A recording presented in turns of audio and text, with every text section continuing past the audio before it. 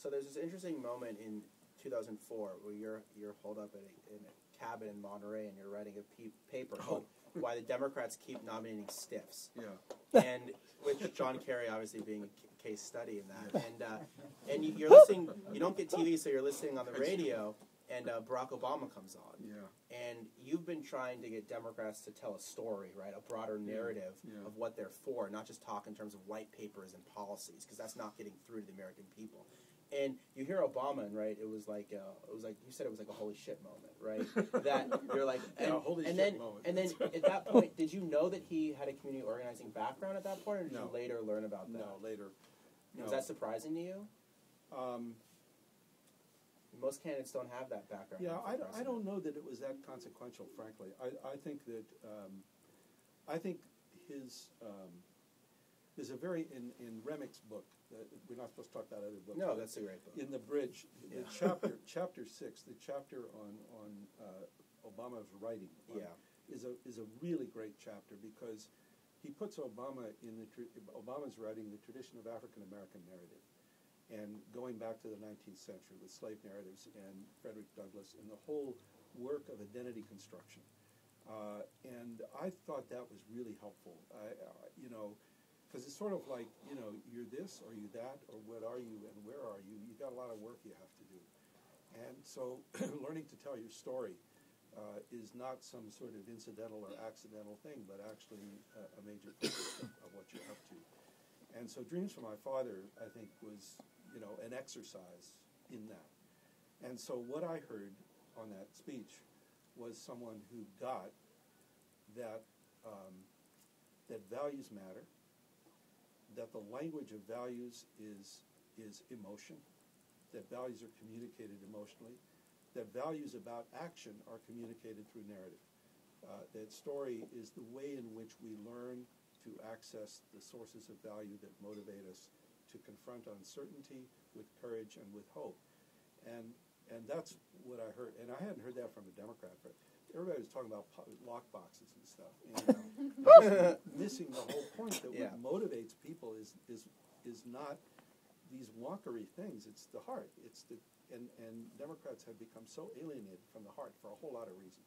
Mhm. So that, I heard that, I said, hmm, got potential. Yeah, and then what I think is, was was really interesting is then you get involved in the campaign and you start doing these Camp Obamas. Yeah. And I think people only start belatedly paying attention to them, but you start getting people to tell their who are inspired by Obama to start analyzing what he's saying and start telling their own stories. Right. And you start trying to create a bunch of basically mini Obamas, right? People to go out and really run the campaign Yeah. before the campaign, because the campaign's really only existing in the early stages in four places. So if you're not in there, what are you doing? And so the question is how to build out the campaign. So you start doing them in California, Yeah. and they start doing them in, you know, one another young man starts doing them in Idaho, and they start spreading in different Well, places. the key, it's interesting because the, all the focus was in four states where they had their staff. There were volunteers clamoring to get involved in the campaign all over the place, and it was just being ignored. Uh, Buffy Wicks, uh, uh, who was another young organizer, actually Young she'd teen worked, organizer. she'd worked for Dean in Iowa and had sort of led a rebellion against the the way the campaign was working. Uh, Buffy was then working in the headquarters and was going crazy about the fact that all these people were not being offered anything to do. She organized the first volunteer canvass day. She got uh, Temo Figueroa, who was the, the field director at the time, to do that. But then there was this pressure coming from California and elsewhere saying, we're funding this campaign, we're not seeing any action here. So that's when they decided, oh, well, let's see what we can do on the road. And that's when I was asked to put together the, the, those Camp Obamas starting in California uh, in, in uh, the summer of 2007 and working with Buffy. And what we did there was basically take a model of leadership development organizing that I developed working with some colleagues in the Sierra Club project of developing leadership teams, which was new to electoral stuff. Usually it's individuals. And grounding it in shared hmm. values, which was like the narrative work. And so people would come thinking that they were supposed to learn Obama's story or else learn a set of policy issues, hmm. you know, like the position on 53 things. We said, no, the first thing we're going to help you learn is how to articulate what's moved you to, to come here and to get involved.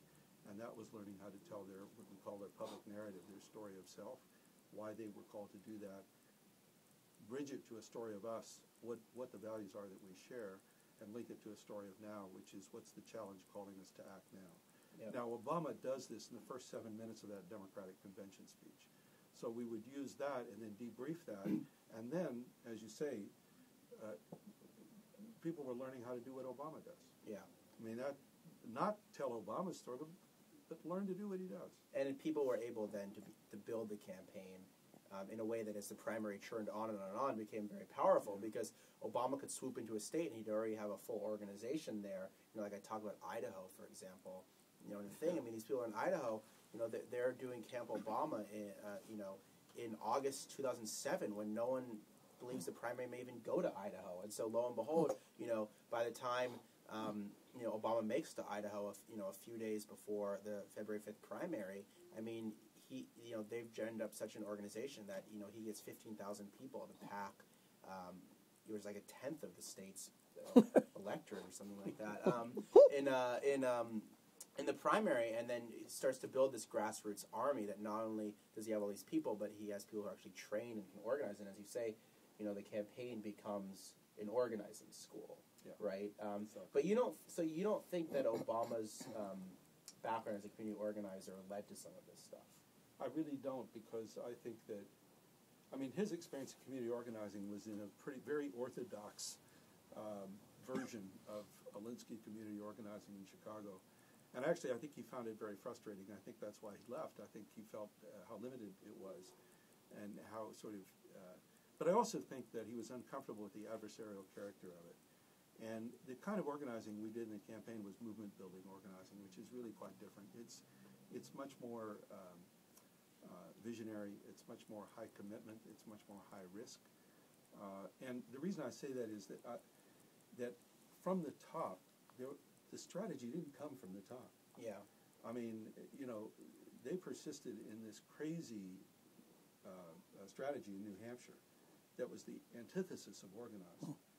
Uh, and you know, and just wouldn't they wouldn't listen to anything, and then they went down the tubes there Yeah. in New Hampshire. So, on the other hand, I think that clearly his experience attuned him to see what was going Yeah. on, uh, and uh, and you know saw that there was something extraordinary Yeah. happening, and of course he was making it happen Yeah. in large part.